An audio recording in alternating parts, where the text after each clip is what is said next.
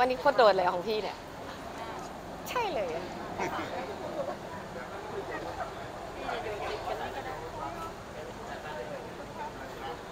เชิญค่ะ แม่มานี้ก็ได้ค่ะแม่มานี่พี่เชิญค่ะ พี่เชิญ มาคนสวยใกล้ๆหนู เดี๋ยวหนูจะเอาเงินคืนดับเบิลให้คุณแม่เอง สวัสดีค่ะ ท่านรับใช่ไหมคะ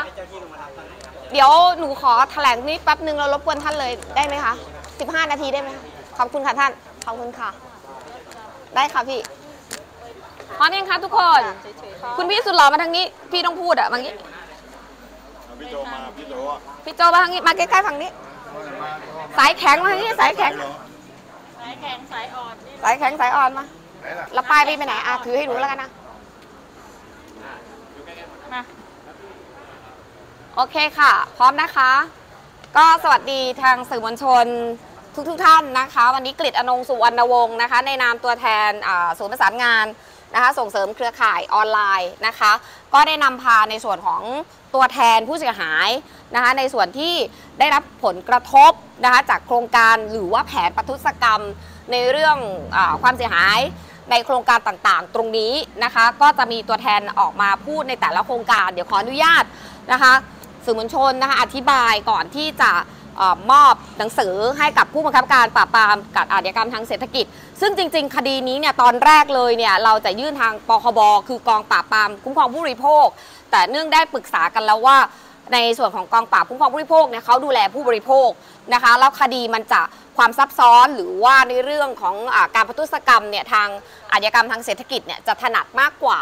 ก็เลยต้องเออมอบมามามามายื่นกับที่ปอสแทน แล้วก็จะเป็นกรณีศึกษา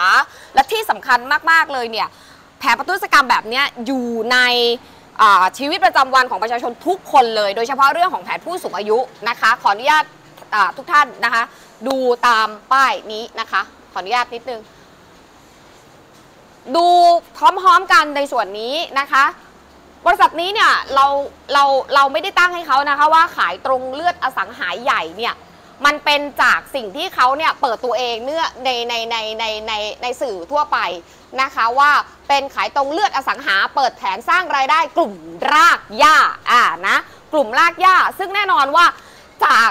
กรมพัฒนาธุรกิจการค้าเนี่ยหุ้นส่วนต่างๆเนี่ยนะคะจะเชื่อมโยงกันว่าหุ้นใหญ่สุดเนี่ย จะเป็นกรรมการเบอร์ 3 ของอสังหาใหญ่ในระดับประเทศนะคะติด 1 ใน 10 หรือ 1 ใน 5 นะคะ แต่ว่าบริษัทที่เรากำลังกล่าวถึงเนี่ยเป็นการเทคโอเวอร์มานะคะจากบริษัทตัวนี้นะคะที่มีใบอนุญาตสคบนะคะแล้วก็มาเปลี่ยนชื่อนะคะเมื่อวันที่ 14 สิงหาคม เป็นเปลี่ยนชื่อในปัจจุบันที่เรากำลังกล่าวถึงนะคะนี่คือที่มาและที่ไปว่าเขาเนี่ยมีแบ็กอัพที่เอาไว้โปรโมทประชาสัมพันธ์ กับพี่น้องประชาชนที่เชื่อถือในส่วนนี้ถูกต้องไหมคะ อันนี้คือส่วนหนึ่งนะคะ ประวัติเดิมเนี่ยเราจากไปค้นนะคะใน Google Form ก็จะเห็นว่ามีการเคยไม่จ่ายหรือมีการช่อโกงในเบื้องต้นอยู่ อันนี้เป็นประวัติที่เราหาได้จาก Google Form ทั่วไป ข้อสังเกต 3 ข้อค่ะ อยากให้ประชาชนทุกคนหน่วยงานรัฐนะคะทุกคนได้ตั้งเป็นสมมติฐานไว้ว่าการโกงลักษณะนี้มันไม่ได้มีแค่ที่นี่นะคะ ข้อที่ 1 มันจะมีการโฆษณาแจกรถนะคะ แน่นอนทุกที่มีการโฆษณาหมดนะคะแล้วก็ให้ทุกคนมาซื้อบัตรนะคะมาเข้ามาร่วมกิจกรรมเนี่ยนะคะโฆษณาอย่างใหญ่โตมากเลยคือแจกรถ 10 คันจำนะ10 คัน มีการขายบัตรเท่าไหร่นะคะ 1,000 โต๊ะนะคะ1,000 โต๊ะแบบนี้นะคะ แล้วก็มีการประกาศผลผู้โชคดีในการจัดงาน แจกจริง ๆ บนเวทีที่ถ่ายรูปเนี่ยเพียงแค่กี่คัน หนึ่งคันใช่ไหมอยู่ในเหตุการณ์ทุกคนอยู่ในเหตุการณ์ แต่อีก 9 คันเนี่ยไม่ข้อสังเกตก็คือตั้งแต่ลำดับที่ 2 ถึงลำดับที่ 10เนี่ยนะคะไม่ได้มีการถ่ายรูปบนเวที แล้วก็เป็นตัวเลขลำดับที่ตั้งแต่ 5,000 เป็นต้นไป อันนี้เป็นนัยยะค่ะ จุดสังเกตไม่ได้ยากเลยนะคะ แค่ว่าถ้าแจกรถจริง ๆ มันจะต้องมีการเสียภาษีสำหรับผู้รับรถ ถ้าวันนี้เขาสามารถยืนยันได้ว่ามีการแจกรถจริง ก็เอาใบเสียภาษีของคนทั้ง 10 คนนี้มาจบแล้ว สำหรับการ declare ตัวเองนะคะ ถ้าเขามีนะคะ ส่วนที่ 2 ซึ่งวันนี้ส่วนใหญ่ที่มายืนอยู่ตรงนี้ก็คือเป็นเรื่องของโครงการผู้สูงอายุค่ะ โครงการผู้สูงอายุนี้นะคะ ผู้เข้าร่วมโครงการจะต้องมีอายุตั้งแต่ 60 ปีเป็นต้นไป มีตำแหน่งอะไรนะ Crown Diamond ซึ่ง Crown Diamond เนี่ยก็จะมีอะอะไรนะ Diamond อะ Diamond ไม่ใช่ Crown Diamond Crown Diamond นี่ทางนี้กระเทือนเว้ยกระเทือน จะต้องมีตำแหน่งไดมอนด์ซึ่งก็ต้องซื้อสินค้าสะสมอะค่ะอยู่ที่ประมาณสองพัน สองหมื่นห้าสองหมื่นห้าแต่ว่าจะต้องเข้าเงื่อนไขคือจะต้องรักษายอดสองพันห้าสองพันห้าสองพันห้าสองพันห้ากี่เดือนหกเดือนหกเดือนหกเดือน ติดต่อกัน 6 เดือน อย่าเพิ่งใส่อารมณ์นะ ติดต่อกัน 6 เดือนนะคะ ก็อยู่จะอยู่ที่ 25,000 บวกอีกอ่า2,500คูณ6ก็อยู่ที่ 15,000 รวมไปเสร็จเนี่ยสมาชิกจะต้องลงทุนอยู่ที่ประมาณ 40,000 บาทนะคะ40,000 บาทถึงจะเข้าสู่โครงการนี้ได้นะในเบื้องต้นเนี่ยเขาประกาศเป็นโครงการเท่าไหร่นะคะพี่เบื้องต้นว่าจะมี 10,000 คน 1 0 0 0 0 0 คน นะคะ แต่ว่ามีการโปรโมทโครงการเนี่ยผ่านสื่อต่างๆ มากมายนะคะ ผ่านสื่อต่างๆ มากมาย แล้วก็มีการระดมเข้าไปเนี่ยอยู่ที่ประมาณเฉลี่ยแล้วเนี่ยที่เราเห็นอยู่ประมาณ 3,000 คนใช่ไหม3,000 คน 3,000 คนคูณ 40,000 ก็จะอยู่ที่ 120 ล้านบาท อุ้ยคุณแม่ชีมาแล้ว 120 ล้านบาท 120 ล้านบาทนี้นะคะ ก็อยู่ๆก็คือต่อแล้วแล้วโครงการนี้มันเป็นยังไงต่อ โครงการนี้ก็เงียบ เงียบไปแล้วครบหกเดือนแล้วทำไงรอประกาศ รอประกาศสุดท้ายโครงการผู้สูงประกาศสักทีเลยสุดท้ายโครงการผู้สูงอายุ ก็เงียบกินแห้วก็เงียบหายไปก็เงียบหายไปนะคะ แล้วในส่วนของการขายสินค้าในธุรกิจขายตรง ผู้จำหน่ายอิสระจะมีรายได้จากคะแนนค่ะ แต่บริษัทนี้จะขายสินค้าแบบไม่มี PV no PV ก็เลยทำให้พวกนี้ขายสินค้าให้เขาฟรีๆแล้วมีรายได้ไหมไม่มีครับเออไม่มีแล้วกินอะไร กินข้าข้าววอะแล้วแล้วขายสินค้าใครได้ ใครได้ บริษัทอ่าบริษัทได้นะคะ แล้วทำไมเพิ่งออกมา ก็ยังไม่มีหมูไม่มวนเอาไม่ไม่มีมีมวลนะคะอ่าโอเคมา ฉะนั้นวันนี้ มามามามามาทางนี้ ฉะนั้นณวันนี้นะคะ ก็อยากจะอ่าเรียกร้องในส่วนนี้ว่าเขาเองเขาเป็นอะคุณแม่ชีจะมาด้วยใช่ไหมคะ โอ้ยไม่ใช่ก็โดนหลอกนั่นแหละครับอ๋อค่ะค่ะค่ะค่ะค่ะค่ะใจเย็นๆนะคะใจเย็นๆนะคะสวสวสสวโอ้ยหนูพูดไม่ถูกเลยสูงวัยหนูทีไม่ต้องคุยแล้วแม่แม่แม่ชียังไม่ต้องคุยกันได้นะคะหนูหนูพูดแทนนะคะแม่ไม่ต้องสัมภาษณ์แม่ชีนะคะ เอาเป็นอยู่อยู่ร่วมเป็นกำลังใจให้หนูก็แล้วกันเนาะสิ่ง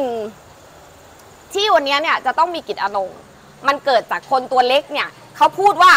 เฮ้ยเขาอะใหญ่เว้ย ประโยคนี้มันสะเทือนเรามากว่า คนตัวใหญ่เนี่ยสามารถทำอะไรก็ได้หรอ แล้วพวกพี่อะตัวเล็กอะเขาพูดว่าอะไรนะ ไม่มีใครทำอะไร เขาได้แบบเนี้ยเราก็เลยบอกว่ามันไม่จริงอะโลกมันเปลี่ยนละถ้าเราคนตัวเล็กรวมกันเนี่ย มันจะจะสามารถต่อสู้กับคนตัวใหญ่ได้ แล้วที่ท้ายที่สุดแล้วเนี่ย ถ้าหลักความจริงพวกพี่เนี่ยไม่ได้โกงเขาถ้าเขาโกงพี่อะใครต้องกลัวใคร วันนี้ก็เลยเกิดกลุ่มการรวมกัน ซึ่งจริงๆจะมีผู้เสียหายที่เป็นผู้สูงอายุเนี่ยอยู่เป็นจำนวนมาก แต่คำว่าสูงอายุก็คือไม่ไม่สามารถมาแสดงตนตรงนี้ได้ สุดท้ายก่อนที่ท่านจะสัมภาษณ์ในส่วนของผู้เสียหายเหล่านี้นะคะพัดฝากประเด็นไว้อย่างนี้ค่ะว่า วันเนี้ยเกราะกำบังที่ดีที่สุด วันนี้คือภาคประชาชน คือสื่อมวลชน ถ้าไม่มีเกราะกำบังภาคประชาชนหรือสื่อมวลชน คนเหล่านี้จะไม่กล้าออกมา เพราะมันมีอยู่ 2 มิติ ซึ่งบริษัทนี้เนี่ยให้มิติไว้น่ากลัวมาก เหมือนที่เราเห็นเทรนด์กระแสข่าวอะค่ะเขาบอกว่าเขาเป็นบริษัทที่เบื้องบนส่งมาเขาเป็นสมเด็จนเรศวรมาเกิด ใช่ไหม ได้ยินกับหูใช่ไหม ใช่ไหม ใช่ไหม ใช่ไหมต้องถามพิเศษในวงการจะรู้ว่าบริษัทนี้เนี่ยเขาจะบอกว่าเขาเป็นสมเด็จนเรศวรมาเกิด ใครจะทำอะไรเขาไม่ได้ไม่ได้นะคะ ในมิตินี้ถ้าเขาเป็นจริง ๆ เราจะรู้สึกว่าเขาต้องมีความเมตตา แต่ในอีกมิติหนึ่งเขาเป็นถึงคนเพชรพกปืนสองกระบอก ใครทำอะไรเขาทำไมไม่ได้เขายิงเลย ก็อยากจะเรียนพี่น้องสื่อมวลชนและทุกท่านว่าเขาเหล่านี้มาแสดงตนเขาก็มีความกลัว พัดก็กลัวค่ะทำไปก็กลัวไป โดนขู่ไปอะไรไปจะน็อกบืดบ้างอะไรบ้าง แต่ที่วันเนี้ยจำเป็นต้องออกมา เพราะว่าคนตัวเล็กเขาต้องการที่พึ่งค่ะ คนตัวเล็กเขาต้องการโอกาสของการแสดงสิทธิทางข้อกฎหมายค่ะ แล้ววันนี้เราก็จะทำให้เห็นค่ะว่า ถ้าท่านเป็นสมเด็จนเรศวรจริง ๆ ท่านต้องมีความเมตตาไม่ทำร้ายคนตัวเล็ก แต่ถ้าวันนี้ท่านเป็นโจรในคราบคนดี ท่านต้องหยุดทำร้ายคนตัวเล็กค่ะ ก็ให้สัมภาษณ์ทางผู้เสียหายนะคะ แล้วถ้าหนูเป็นอะไรไปฝากลูกหนูสองคนด้วยนะพี่นะเชิญครับเชิญครับทางนี้ครับอะเชิญค่ะ สัมภาษณ์ตัวแทน ก่อนก่อนที่เราจะไปร่วมโครงการเนี้ครับอะไรที่ค่ะมันเป็นแรงจูงใจที่ทำให้เรารู้สึกว่าเราอยากที่จะลงกับโครงการเนี้ครับ ก็พี่ก็คือเพิ่งจะอายุ 60อะนะพอดีเขาบอกว่ามีโครงการสวอ่ารัฐบาลให้ 600 ใช่ไหม เขาจะให้ 6,000 เลยแต่เราไม่ได้ยินกันมากับหูเนี่ยแต่ต่อๆกันมาอีกทีนึงพี่ก็อุตส่าห์รวบรวมเงินเก็บเงินไปรักษายอดเดือนละ 2,500 2,500 ติดต่อกัน 6 เดือน แล้วเขาก็บอกรอประกาศรอประกาศเงียบ เขาบอกจะให้กี่บาทครับตอนแรกหลังจากที่ครบ6เดือนแล้วครับเขาจะให้เงินสวเนี่ยพันหกพันรัฐบาลให้หกร้อยเขาจะให้หกพันอ่าเราก็ไปรักษายอดทุกเดือนเดือนละสองพันห้าสองพันห้าสองพันห้าติดต่อกันหกเดือน ครับสองแล้วเขาก็บอก ได้อะไรมาบ้างครับได้ได้สินค้านะคะได้สินค้าอาหารเสริมพวกเอ่อเอ่อที่เขาขายอะค่ะ ครับ แล้วก็เราก็เอามารับประทาน เราก็ดีสินค้าเขาดีนะคะ แต่ว่าเราก็ทำโครงการเนี้ยแล้วเขาบอกรอประกาศ รอประกาศเดือนพฤศจิกาเราก็รอเฮ้ยเดือนพฤศจิกาเดือนเกิดเราพอดี แล้วก็รอรอรอเราจนเงียบนะคะเงียบเบอร์หนึ่งก็หายไปแล้วอะไรอย่างเนี้ยไออัพเลยเราก็หายไปแล้วอ่าเราก็เลยไม่รู้จะทำยังไงเราก็หยุดทำค่ะอ่าตอนนี้ติดต่อเขาได้ไหมครับเออเราไม่ได้เข้าบริษัทค่ะ เราก็เดินผ่านไปผ่านมาอะไรอย่างเงี้ย ถ้าเข้าไปก็เซ็นชื่อไปกินกาแฟอะไรอย่างเงี้ยเราก็ไม่ไปอะหน้าไม่หน้าไม่ได้หนาพออะไรอย่างเงี้ย เราก็ไม่ไปค่ะ อืมเออครับเรารู้ครับคนอื่นๆนี่เหมือนกันไหมครับเหมือนโครงค่ะการเดียวกัน ถ้าโครงการเดียวกันจะเหมือนกันสวหมดเลยค่ะ โครงการเดียวกันแต่จะพอเหมืดีนกันคุณท่านเนี่ยก็รู้จักกันสนิทกันคุณโจรัชดาแล้วก็พี่เสกเนี่ย สนิทกันอะไรอย่างเงี้ยค่ะ ก็เลยแบบว่าเออ เมื่อคืนมาเนี่ยไม่ได้ไม่ได้รู้เรื่องมาโครงการนี้ด้วยนะคะ เนี่ย ไม่เขาบอกว่าไม่ต้องพูดอะไรเยอะมาเฉยๆ มาให้กำลังใจเฉยๆนะสุดท้ายก็คือต้องพูดเพราะอะไรความจริงมันอยู่ค่ะเพราะว่ามันเสียหายจริงค่ะ ที่ป้าออกมาเนี่ยคือเราอยากเรียกร้องยังไงบ้างครับ อยากเรียกร้องให้เขาทำตามคำพูดของเขาอะค่ะทำตามคำพูดไม่ใช่เงียบไปเฉยๆอะไรอย่างเงี้ย แล้วทุกคนน่ะบาดเจ็บสาหัสอะไรอย่างเงี้ยค่ะเขากว่าจะทำขึ้นตำแหน่งอะไรอย่างเงี้ยค่ะ แต่เราอะเราเจ็บปวดแทนกว่าเขาจะทำเขาต้องบุก ป่าฝ่าดงไปต่างจังหวัดอะไรอย่างเงี้ยเสี่ยงเป็นเสี่ยงตายขับรถขับอะไรไปอย่างเงี้ยอืมพอขึ้นตำแหน่งสูงไปตัดรหัสเขามันเรื่องอะไรคะไปตัดรหัสเขาไม่ได้ค่ะ อ่าถ้าทางบริษัทฟังอยู่ป้าอยากจะบอกอะไรเขาพูดบอกว่าให้ให้เขาต้องทำตามคำพูดของตัวเองอะค่ะค่ะเขาเป็นสมเด็จในส่วนนะพี่พี่ไม่ได้ยินนะว่าเรื่องสมเด็จพระนอ่าเรศวไม่เป็นไร แต่เขาเขาเป็นเจ้าของบริษัทพี่อยากให้เขารับผิดชอบอะไรพี่อ่า ก็ให้ทำงะโครงการสวให้มันเกิดอะไรอย่างเงี้ยนะคะค่ะหรือไม่งั้นก็รับผิดชอบในสิ่งที่ทำไม่ได้ค่ะใช่ไหมไม่ควรไปตัดรหัสสมาชิกนะคะ เพราะว่าเขาอะเจ็บปวดเขาสร้างมาเนี่ยด้วยลำแข้งของเขาเอง เขาไปต่างจังหวัดเขาเนี่ยเสี่ยงเป็นเสี่ยงตายขับรถไปต่างจังหวัดเนี่ยกว่าจะได้ผู้นำมาแต่ละคนเนี่ยไปตัดรหัสเขาทำไมอะไรอย่างเงี้ยนะคะโอเคอ่าถามพิเศษเขาก็เนี่ยเนี่ยพูดหน่อยอะพูดหน่อยเข้าใจแม่งต้องมาพูดหน่อย เป็นยังไงครับอ่าที่ที่ได้รับผลกระทบจากโครงการเนี่ยครับ เอาในส่วนของโครงภาพลักากรษณ์ผู้สูงเป็นวัยภาพลักษณ์ขหรือองเปล่า ทางผมอะไม่ค่อยเท่าไหร่แต่ในส่วนของภาพลักษณ์ นักธุรกิจที่อยู่ในบริษัทเนี่ยก็จะได้ผลกระทบค่อนข้างที่จะเยอะนะครับ เพราะว่ามันเหมือนกับเป็นการหลอกลวงอะครับคือวันนี้เนี่ยในการในการที่จะคิดโครงการอะไรขึ้นมาเนี่ยผู้ประกอบการควรจะต้องรับผิดชอบในคำพูดของของตัวเองใช่ไหมครับแต่ในกรณีนี้เนี่ยมันเกิดกรณีที่ว่าสมาชิกเนี่ยได้มีการ ซื้อสินค้าแล้ว ได้ทำตามเงื่อนไขที่ทางบริษัทได้ประกาศออกมาแล้ว แต่จนบัดนี้โครงการยังไม่เห็นแม้แต่เงาเลย มันก็เกิดความเสียหายที่มันเป็นมูลค่าค่อนข้างที่จะสูงนะครับ ก็อยากจะให้ทางบริษัทเนี้ยเขารับผิดชอบในคำพูด รับผิดชอบในคำพูดนะครับ ในการที่เขาบอกบอกว่าดำเนินการได้เลย อันนี้เนี่ยเกิดขึ้นแน่นอนออกย่างสื่เงี้อยไปทั้งหมดใช่ครับ นะครับตรงนี้ก็อยากที่จะให้บริษัทเขาเป็นคนรับผิดชอบในคำพูดของเขา ครับแล้วก็อีกประเด็นหนึ่งครับเรื่องรถนะครับ มีใครอืมอยู่ในงานโต๊ะจีนบ้างครับให้ช่วยยกมือได้ไหมครับ ใครใครอยู่บ้างที่เขาบอกว่าจะแจกรถสิบคันเนะครับเนี่ยพี่พี่ช่วยยกมือได้ไหมครับว่าใครอยู่บ้างใครอยู่ในเหตุการณ์ไอ้ที่งานแจกรถอะค่ะสิบคัน อยู่ใช่ไหมคะเอาไม่ไม่มาอะไม่แล้วเขาแจกคันเดียวจริงๆนะครับ เอ่อกี่คันที่เป็นจริงเนี่ยอันนี้ไม่สามารถที่จะตอบได้นะครับ แต่ในส่วนที่ เราเห็นจากโลกโซเชียลเอยหรือในเรื่องของการออกสื่อเนี่ยเห็นแค่คันเดียวคันเดียว เห็นแค่คันเดียวนะครับ แล้วในส่วนของการที่เขาแจกเนี่ยมันมีข้อสันนิษฐานที่ผิดปกติคือในการแจกรถโดยปกติคนที่ได้รับรถเขาจะต้องเฮเขาจะต้องวิดว้ายกระตู้หูแต่ในงานวันนั้นเงียบกิ๊บหมดเลยครับ เงียบกิ๊บหมดเลยไม่นไม่มีคนแสดงตนว่าได้รับรถม่มีคำแสดงตนว่าไม่มีคนไแสดงตนว่าได้รับรถ มีอ่าแค่คันเดียวที่แจกบนเวทีแล้วรับรถ คันเดียว บนเวทีก็ยังครับยังเวทีก็ยังเหรอมามามามารับมอบกันทีหลัง รู้สึกว่าพี่คนเนี้ยที่ได้รับรถเนี่ยก็ไม่ได้อยู่ในงานอ้าวอ่าแต่แต่ประกาศประกาศออกไปแล้ว สรุปว่าแจกกี่คันกันแน่แจกคันเดียวหรือไม่หรือแจกศูนย์คันกันอ่านะครับแล้วอันเนี้ยก็เป็นหลักฐานในการที่ทางบริษัทเนี่ยแจ้งออกมาว่าผู้ที่ได้รับรถเนี่ยอยู่ที่อ่าบัตรหมายเลขอะไร ซึ่งมัน5,000ขึ้มีนต้นข้อไปสงสัยตรงที่ว่าเลขบัตรเนี่ยมันเกินจาก 5,000 ขึ้นไปทั้งสิ้นเลย เกิน 5,000 ขึ้นไปทั้งสิ้นอ่าฮะเสียค่าบัตรกันไปคนละ3,000 บาทครับสามพันบาทเพื่อเข้าไป3,000 บาทร่วมงนเพื่อเข้าไปร่วมงานนี้ เพื่อเข้าไปร่วมงานนี้ ก็จะมีรถ 10 คัน มีทองร้อยเส้นมีมอเตอร์ไซค์ นะครับ มีมอเตอร์ไซค์อีก 3 คัน ซึ่งแจกตรงไหมนี้ครับแจกไหมครับถ้าเกิดโดยส่วนตัวผมก็เห็นแต่รถนะครับที่ 1 คันเท่านั้นเองอ้าวแล้วทองอะ ก็ยังไม่เห็น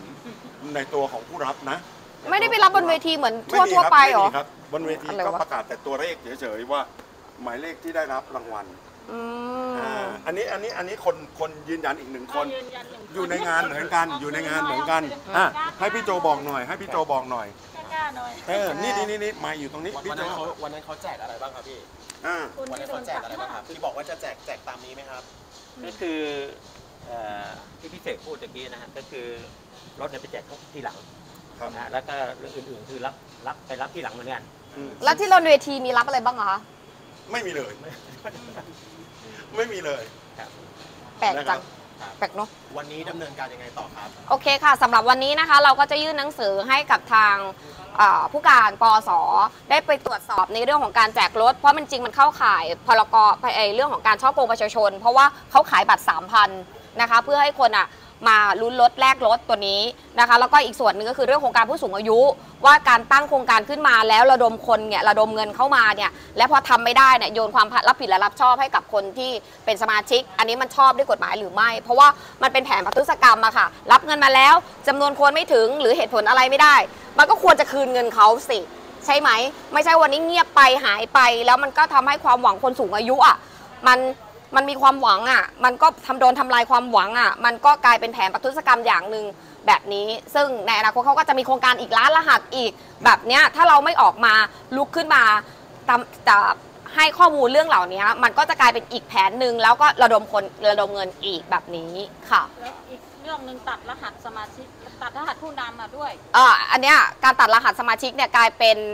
เป็นเขาเรียกว่าอะไรมะเร็งร้ายของอาชีพขายตรง ก็คือมันอิสระที่มันไม่อิสระ คือคือวันนี้พอทำเริ่มรายได้จนถึงหลักล้านเนี่ยก็จะมีการเหตุแห่งการตัดรหัสระงับคอมมิชชั่นก็คือไม่จ่ายไม่จ่ายผลตอบแทน สมมติว่าวันนี้เขามีรายได้เดือนล้านเขาต้องจ่ายเดือนละล้านเขาก็ตัดรหัสเดือนละล้านก็เอาเงินไม่ต้องออกจากบริษัทอีกล้านหนึ่งแต่เขาสามารถขายสินค้ากับผู้บริโภคข้างล่างได้ มันเป็นเครื่องมืออะค่ะ วันนี้คนขายตรงคนอาชีพขายตรงมันเป็นแมลงสาบมันน่าขยะขยงมันดูเหม็นเน่า เพราะว่าอะไรคนตัวใหญ่เขาทำเนี่ย เขาทำให้คนตัวเล็กเนี่ยที่ไม่ไม่มีทางเลือกอื่นเนี่ยดูดูดูดูแย่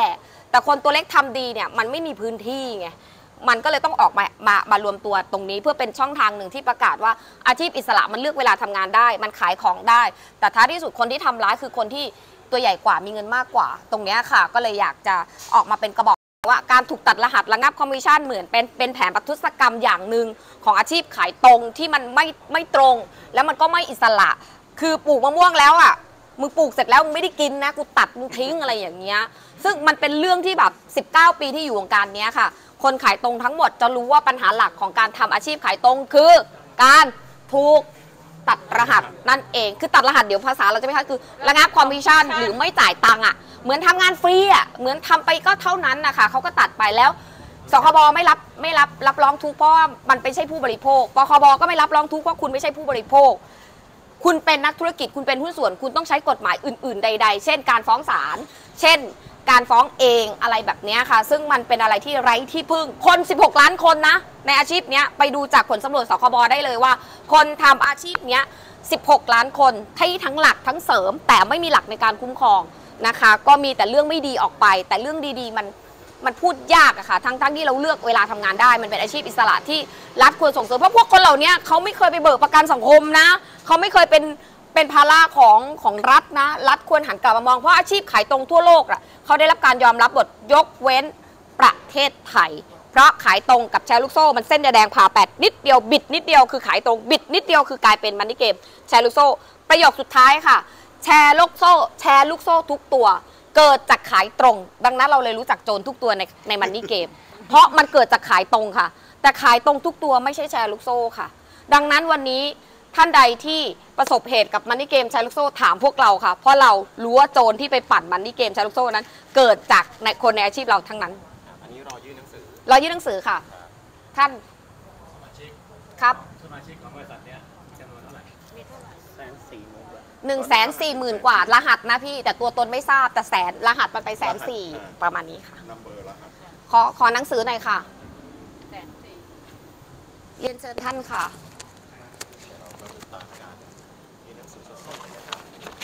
หนูอาจจะยังไม่ได้เซ็นข้างในนะคะ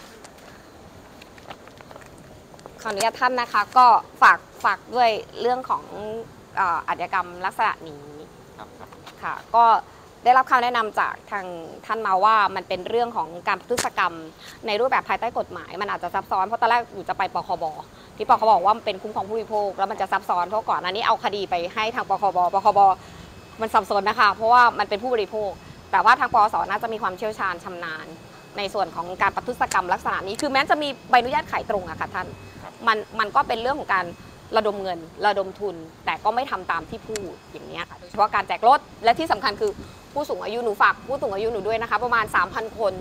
สามพันคนที่ภาคอีสานนี่อีกเยอะเลยค่ะ ครับ เยอะเลยค่ะ ถ้าท่านจะสอบปากคำเราอาจจะต้องไปในพื้นที่หรือเปล่า วันนี้พร้อมสักคนหนึ่งไหมได้ค่ะเนี่ยค่ะ เอามาได้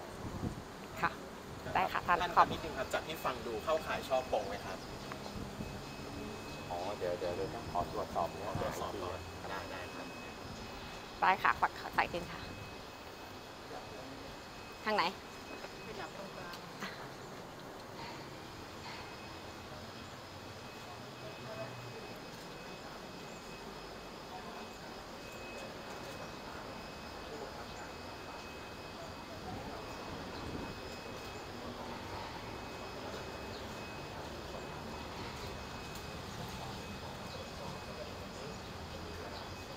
ร้อยนะคะ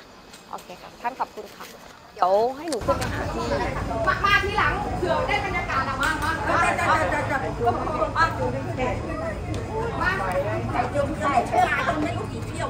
ก็รู้เลยว่าก็พูดกับแม่แก้วแล้วบอกว่าเข้ามาก่อนก่อนนี่นี่นี่เรื่องเรื่องอย่าพูดมากนะเดี๋ยวอะไรเมื่อไหร่เมื่อไหร่จะพูดมากเดี๋ยวจะจบไม่เกี่ยวไม่เกี่ยว